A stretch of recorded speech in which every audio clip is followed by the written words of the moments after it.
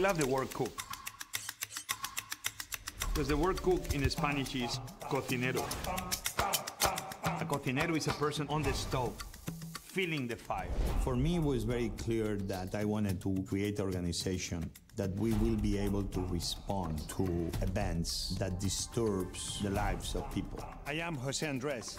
We're here with a simple mission to make sure that food is an agent of change. There's no food, no water. Puerto Rico was a game changer in every aspect. He took a backpack, and I don't even know how they got there. What we found when we landed was catastrophic. In a crisis, you call on the experts. No one was calling on the cooks and chefs of the world when there were people who were hungry.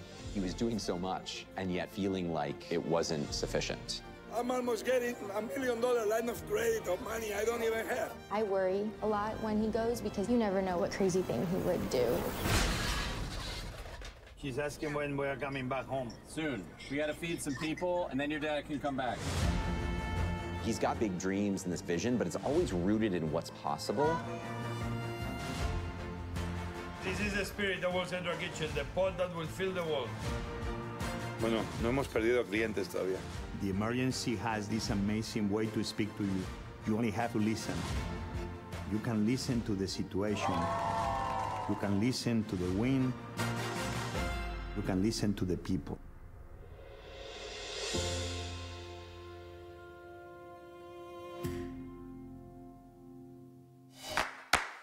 Please welcome to the stage Jose Andres, chef and humanitarian at Think Food Group, and Ellen McGirt.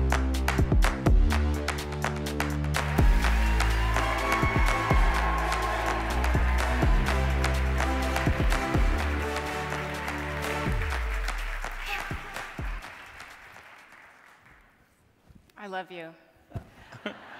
People of Great Place to Work, look who is here. Look who is here with us.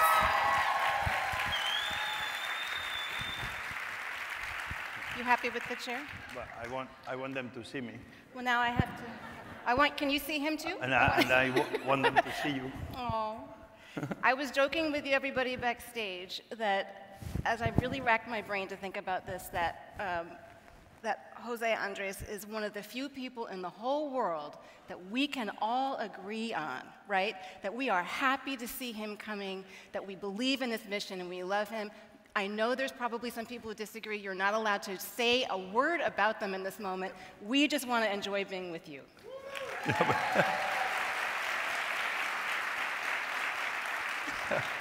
Well, you know, sometimes my daughters, when I'm cooking at home, Okay, that's fine. they tell me, Daddy, can you let mommy cook? We like her food better. I'm like, so you are coming from an interview that they say you are one of the best chefs in the world, and then your daughters don't want you to cook. Believe me, it's, it's, it's hard.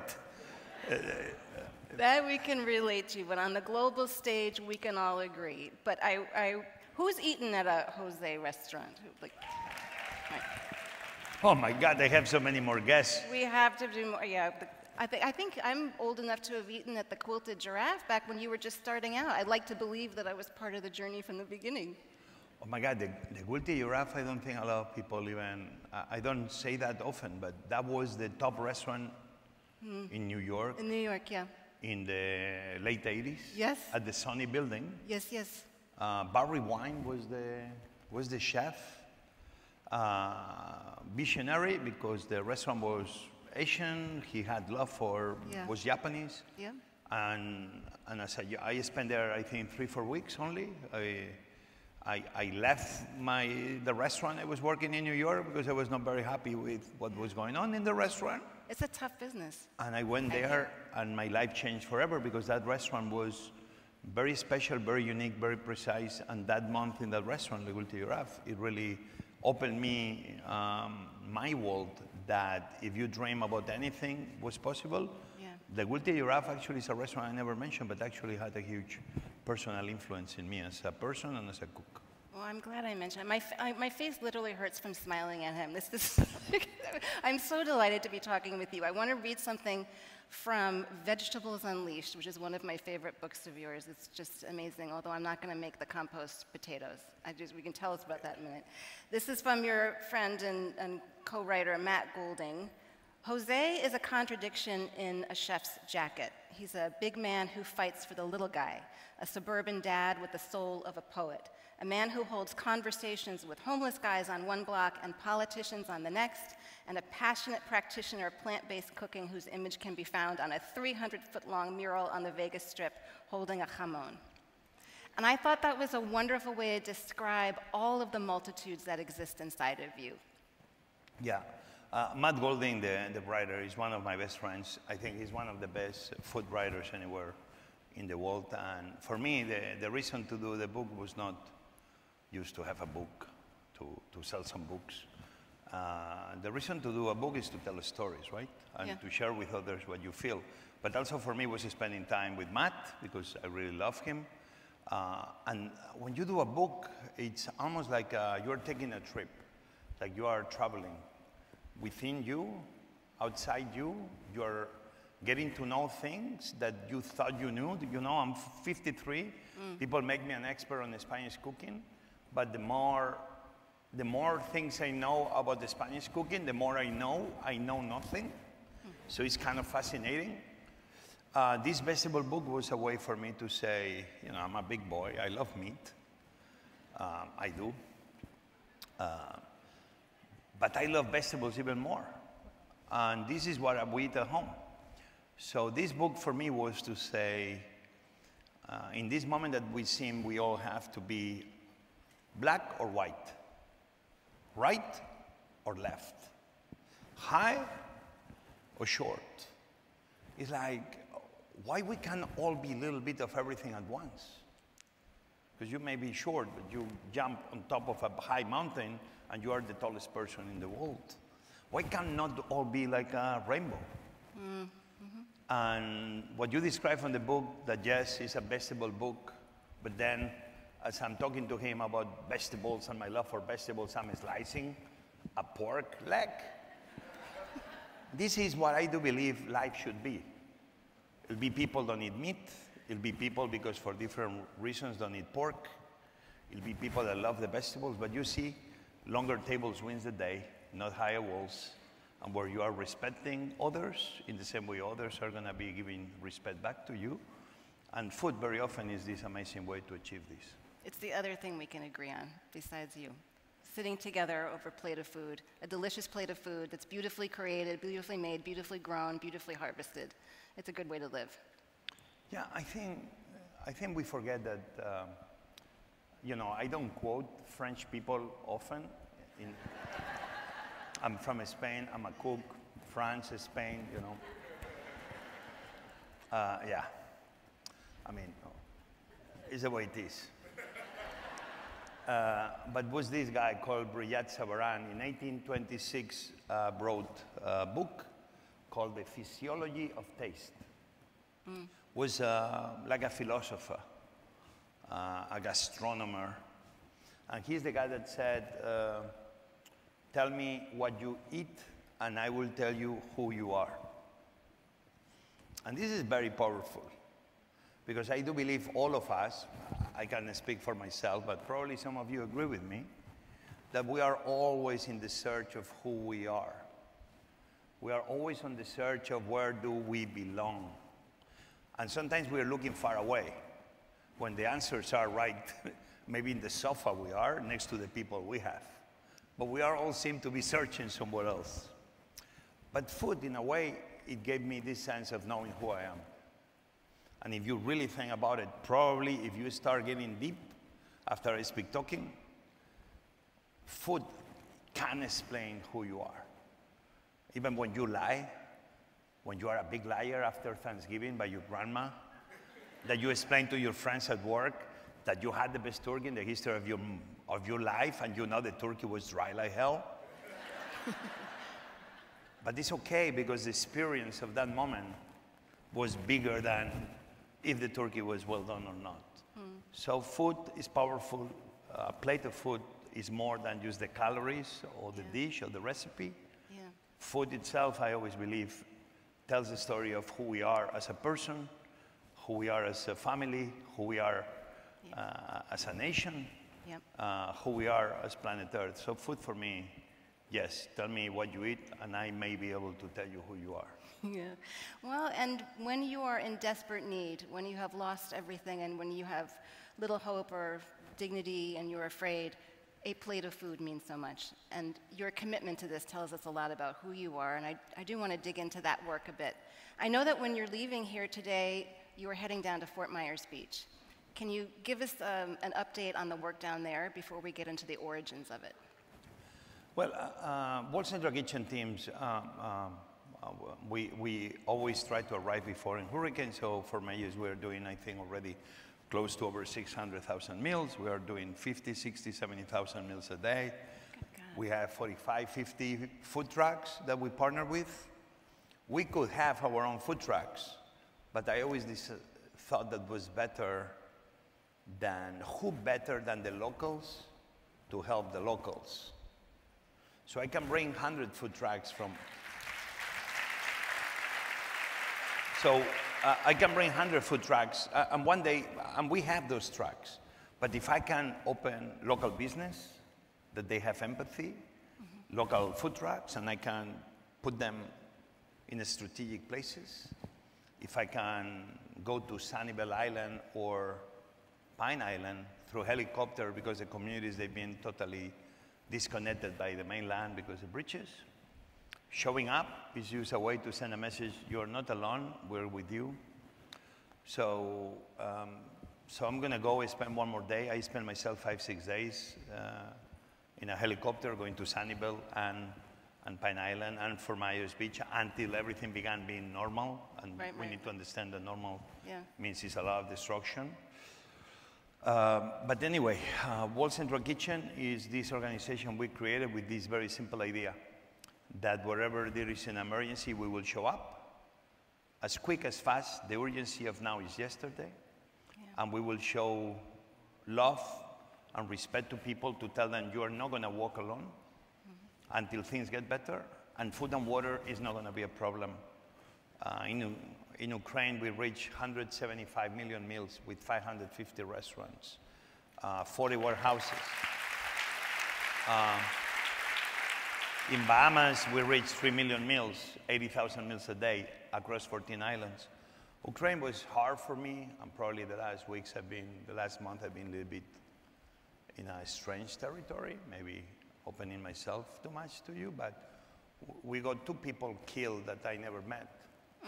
But in a way, I am just one more guy in World Central Kitchen. I'm the founder, but just I'm a board member. I'm, yes, I've been, I founded World Central Kitchen, so I'm the guy that has been the longest in this organization, and I have experience that I've gained. On, but I never imagined in my life I will be losing people in an emergency Yeah. like that, and that makes you start thinking about life in ways you never thought you would think. At the end, we are only as good as the people we have around us, especially with men that uh, I think women are far away more generous. Uh, I think was a hidden woman uh, when they brought the beginning of what America begins with the people. I think was a woman who put with the people there. Because if a man brought that, will be I the person. um, and, and I mean that uh, sincerely because at the end, we are only as good as the people we have. Yeah. Myself, I've been very lucky always to be surrounded by people that make me better, and I try just to make them better back. Yeah. But I'm, I'm always, I, I always realize that I am the sum of all the people that vested love, energy, and time in making me better. Yeah. And then I realized that it's the responsibility of every one of us to try to do a little bit of that back to everybody. Yeah. At scale. I mean, this you, the numbers that you shared are just enormous. Can we, let's go back to the origin, when this was an idea, a possibility that you saw. That would have been in Haiti after the earthquake in 2010, and you also, um, your friend, who run a remarkable organization called the DC Central Kitchen. Yep. So my, my mom and my dad were nurses. We had a nanny home, and the hospital was the place that my mom and my dad will exchange my brothers and I. So I spent a lot of time in emergency rooms because I was waiting for my father or my mother to finish their shift and to take us home or to take us to the, to, to the school. Um, I always saw the, uh, the nurses, the doctors going the extra mile. Nothing Right. was a surprise for me when this pandemic we saw Yeah. All the doctors and nurses putting themselves even in danger, going beyond duty to try to bring comfort, one life at a time, one hospital at a time. For me, it was no surprise.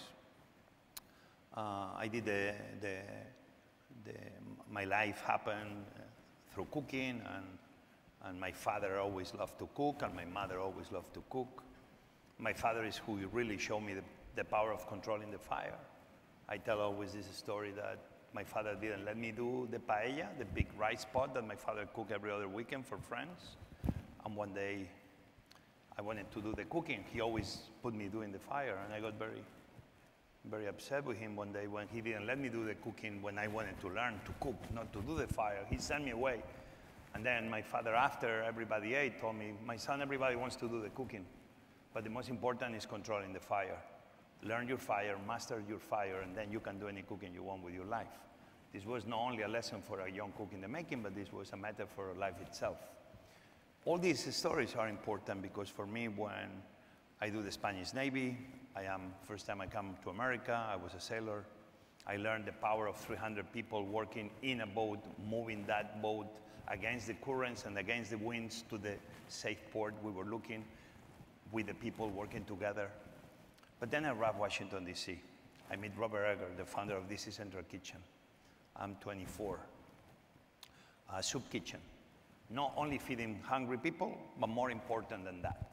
Everybody was talking about food waste. The organization will get the food waste. But what they were doing is making sure we were not wasting the lives of the people by giving homeless ex-convicts an opportunity to learn a profession. In the process, getting that extra food produced to feed the homeless. In the process, they will graduate, and restaurants like me, we will hire them. One dollar not only thrown at the problem, meaning feeding the hungry, but one dollar multiplied by four Yeah. invested into the solutions. Right. Robert Egger told me that philanthropy, charity, seems is always about the redemption of the giver.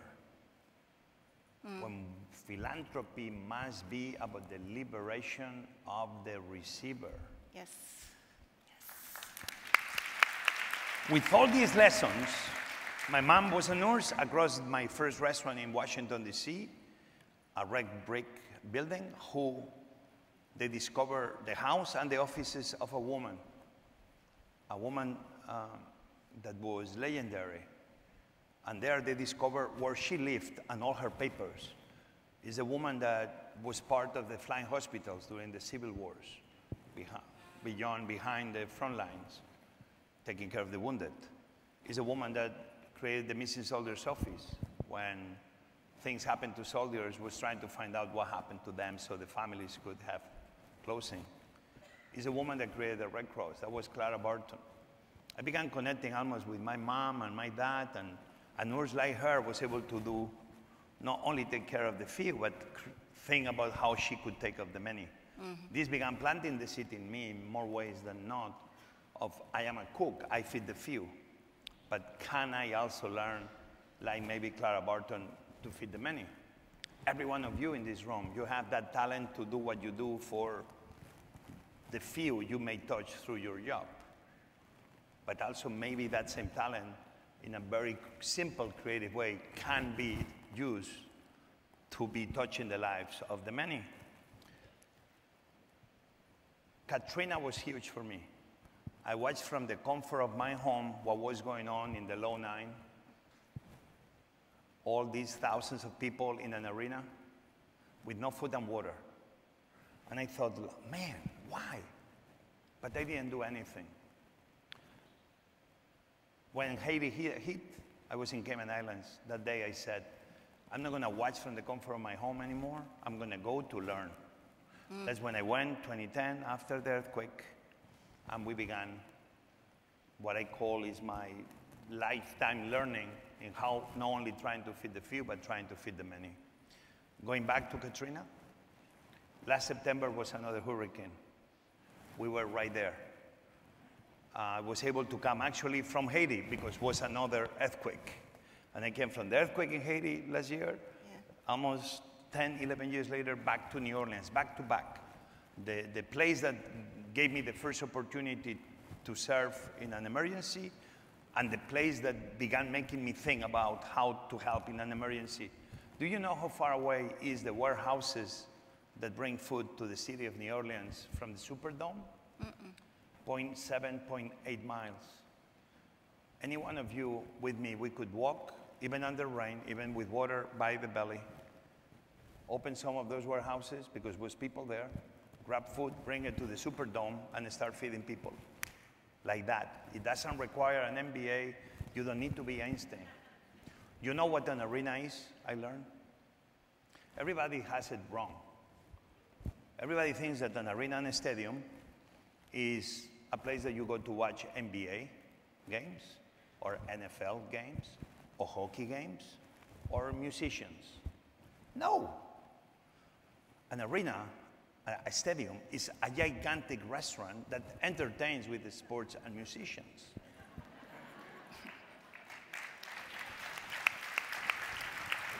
So that's how we began, making big problems into simple solutions. Yeah. Not planning, but adapting. We are all taught to plan and to create plans for the different situations in life.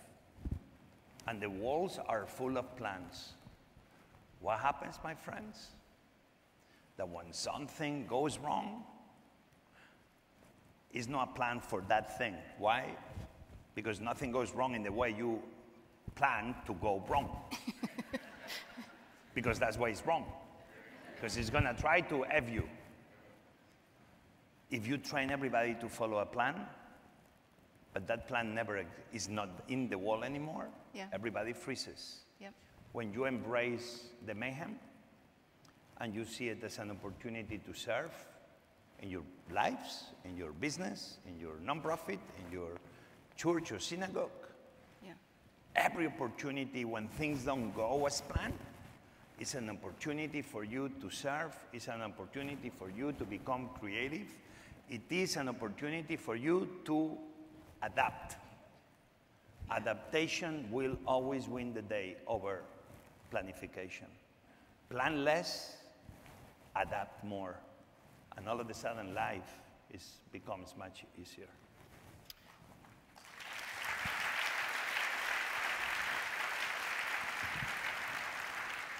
You know, I, before I met you and before I heard that, I had this romantic notion about how you would lead an organization as big and as specific as this. You know, everyone's trained in food service to keep food clean, to you know, keep everything hygienic. I mean, you really have tremendous training built into what you already do to see a restaurant in places like boats and arenas. So it's, you bring a, a rigor and excellence to this work, which is why you joke you haven't lost any customers yet, which is a wonderful way to look at it.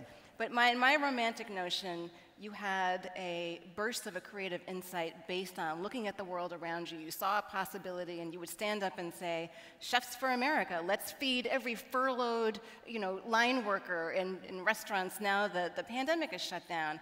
And then I thought to myself in my Fortune magazine voice, "Oh, that's ridiculous. That's not how organizations work."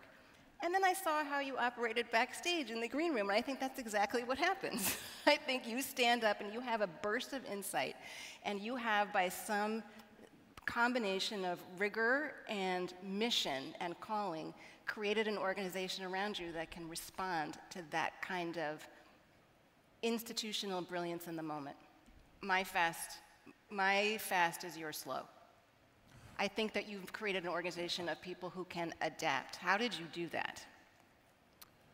Well, uh, I mean, you know, obviously I have different, different movies in my life. I have different lives in my life, but they are all interconnected. And me, I feel like I keep jumping from one movie to the other. Yeah?